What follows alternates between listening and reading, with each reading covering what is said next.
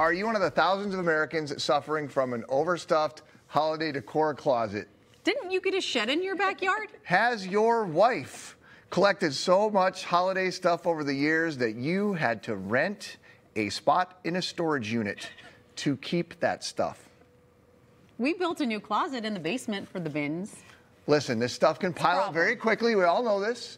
Whether you're buying new trendy decor every year or you're hauling around the same stuff that your family has had around for the last 70 years. Well, Rebecca Sansone owns the Mustache Cat in St. Paul. This is a home goods shop. It specializes in curated and vintage pieces. And she's here with some tips to make seasonal decor shifts a little bit more approachable and a little bit more sustainable. Rebecca, how are you? Welcome back. Thank you. Thank you so much for having me. So let me ask you, this is your shop. But do you have a storage bin in your house? Do you have lots of them of your things? I have Are you like some me and Chris? bins. Okay. I, you know, I will admit I have some bins.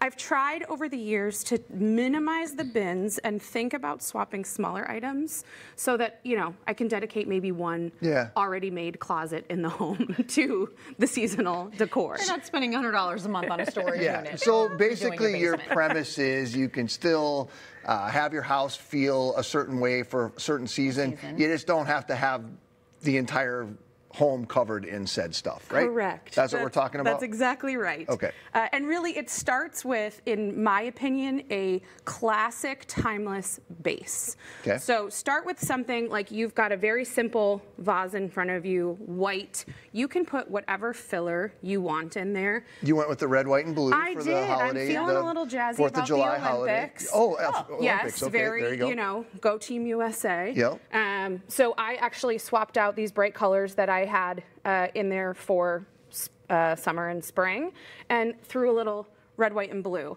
Now, with a simple base like that, whether it's glass, whether it's white, whether it's wood, you can really put different filler in there and have it look totally different. Mm-hmm. And this would be on a on a table, on a where would this? Yes. a, a center central location or what? Yeah, I think that's another really nice uh, way to kind of simplify your swaps is to think about easy areas in your home to swap. So Yeah. I like to do it on my coffee table. It's kind of center of the home, Yep. something I'm right in front of, especially as I'm watching all of these Olympics currently. Um, but it, you get the most bang for your buck in those centralized locations. Uh, shelves or your mantle, again, kind of that centralized spot. Um, or in your kitchen, on your counter, in kind of the middle of your space. Really, the theme of this is middle of your home, bang for your buck. Well, and talk about bang for your buck. I mean, you swapped out just red and blue napkins, but then those are practical and you get to use them later. So it's not wasting. You don't have to store them. And get those at the Great dollar decor store for a dollar, right? Yeah. So- Yes, or at the mustache cat. Yeah, yeah. You sell those. You do. sell those kinds of I napkins. Sure do. Oh, they're cute. They're, Yes. they're vintage. Yeah, we do a modern mix uh, with items from women makers or women-owned businesses, uh, and so yeah, we've always got a little kind of fun twist on on the modern stuff. Nice. All right, tell us about this next little set that you have right. going on here. So the idea there is swapping one item, something very simple. In this case, the tray, right? The underlying Yep. piece. So you can move from something like this wood piece behind you to a tray, have it feel really simple, but again, totally shift to that like patriotic It's cohesive mindset. as you go about your house, You but got it's it. not screaming Olympics or Fourth of July or whatever yes. the holiday is. Yes, I'm all about simplicity. And I think it really starts with A, minimizing the number of swaps you're trying to do.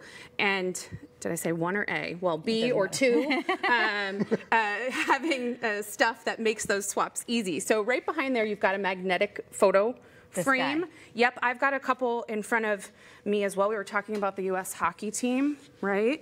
So uh, you just unsnap this frame and you can swap items in and out. So Well, that's an easy way. so simple. And you can have a totally different vibe or feel. So I may be happy to rep Mary Lou Retton and the fabulousness of her vibe all Yeah. the time. Um, but maybe I want to swap it out for a different season. Maybe I go something state fair. Maybe I go something a little more holiday.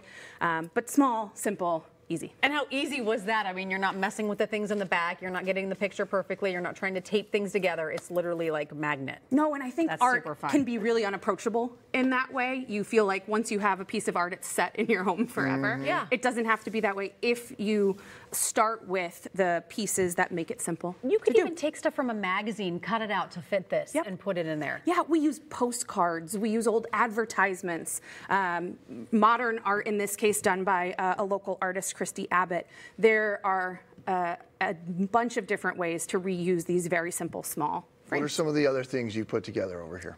So we've got uh, some pretty simple swaps in terms of plants and planters. One of my favorite tricks is to leave a pot or a plant in its nursery pot. Oh, the So plastic that- one Yeah. that it comes in. You don't Okay. have to totally commit to Yep. the planter, and I could very simply swap it into something for new. a completely different look. Correct. So this might feel a little summer spring. This may feel a little more classic, uh, but by keeping it in its original spot, I can make these changes really simply. One thing that I noticed when we walked up to the table is the smell, and your candles smell so good. Yeah. I remember that from last time you visited, and Thank that's you. a big way to kind of change the feel of a home too. 100%. I like to think about using all of your senses when it comes to swapping your decor. Scent is absolutely one of them.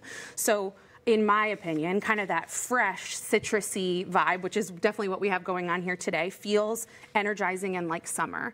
You might get a little cozier and softer when we get into fall or winter. Yeah. Um, maybe a, a little kind of seasonal. Uh, holiday spicy Yeah. uh, when we get closer to the end of the year. Mulled Um, but scent is a great way. Sound, so put on your favorite playlist in the summer to me again i'm like upbeat energized maybe i'm feeling a little patriotic and like putting my favorite pump up songs on right now uh, but having a playlist that uh, fits the vibe of what you're going for um, and then also touch and feel so having fabrics around that align with the seasons maybe swapping out some of the heavy wools or velvets for something light Lighter, yeah. yes Linens and stuff. you Yeah. got it. Um, so we do a lot of that with pillows. And again, uh, I would never worry about this big guy in the back or the f- changing out your full situation. Just do the small ones. Perfect. Rebecca, lots stuff, of great Rebecca. tips. Thank you. Thank you. Thank you. Appreciate it. The Mustache Cat is open Wednesdays through Sundays right there in St. Paul.